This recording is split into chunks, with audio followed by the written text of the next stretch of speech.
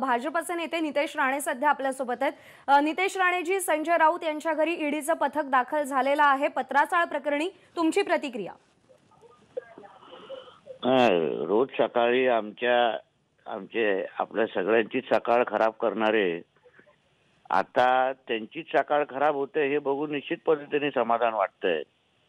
आणि पत्राचारमध्ये जे गरीब रहिवासी होते जे गरीब मराठी कुटुंबीय होते त्यांना खऱ्या अर्थाने आज न्याय भेटेल असा मला विश्वास आहे.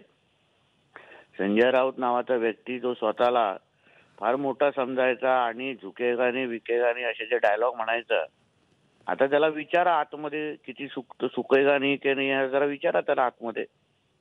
शेवटी भ्रष्टाचार करायचं महिलांना महिलांवर अत्याचार करायचा त्यांना त्रास द्यायचा. आणि त्यांना असं वाटत असेल की त्यांना कधीच काय होणार नाही. तर आता त्यांना कळत असेल काय असतं ईडीची चौकशी आणि दुसऱ्यांना त्रास देणं काय असतं ते त्यांना आता निश्चित पद्धतीने कळत असेल.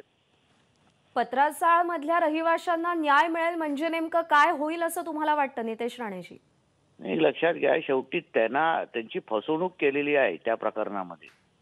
बिल्डर आणि तो प्रवीण राऊत आणि ह्या लोकांनी एकत्र येऊन त्या लोकांची फसवणूक केलेली आहे. आता त्या फसवणुकीच्या कुठल्या ना कुठेतरी शिक्षा भेटली पाहिजे ना.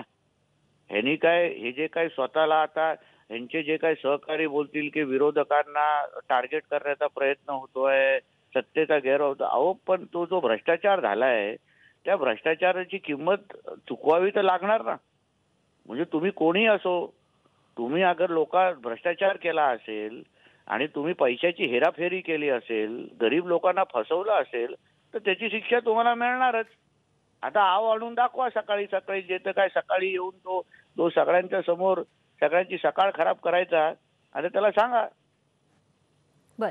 नितेश राणेजी आभार आपले. आपण एबीपी माझाशी संवाद साधला त्याबद्दल. पुन्हा एकदा जाऊयात. वैभव